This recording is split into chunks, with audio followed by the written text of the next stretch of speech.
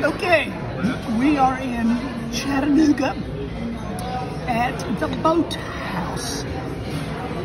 It sits right on the banks of the Tennessee River, and uh, they are known for their fish, naturally. so far, we have had uh, brisket nachos, which were really, really good. And Sam ordered some um, um, Wood grilled oysters. wood grilled oysters, and they're good.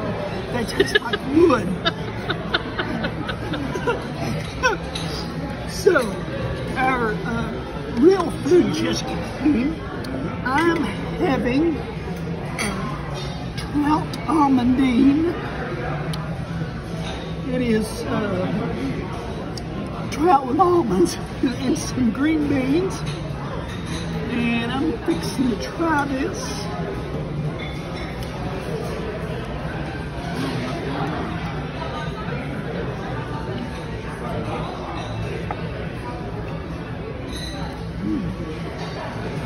Oh my, Good? How we doing over here?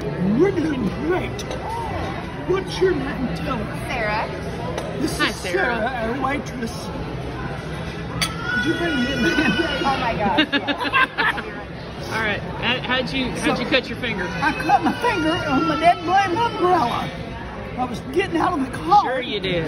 And so I needed a, a band-aid.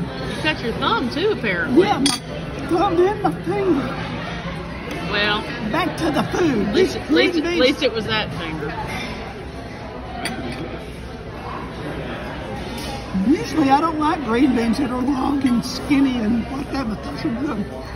So, Sam, Am I supposed to tell him what I'm eating? yes, Oh. I'm This having uh, grilled tuna with the same green beans courtesy. Okay.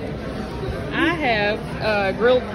No, I have fried catfish because catfish any other way would not taste as good. I think that's Shakespeare Wait a or minute. something. Wait a minute. Y'all get eh, my bite. Oh, I'm so sorry.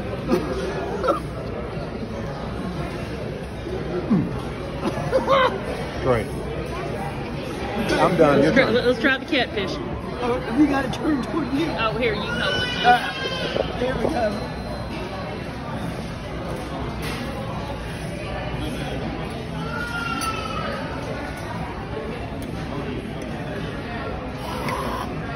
hot. Really good though. It's really flaky and light, not greasy. It's really good.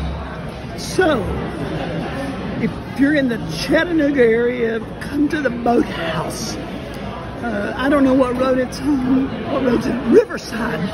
Riverside Drive Road like that. Street.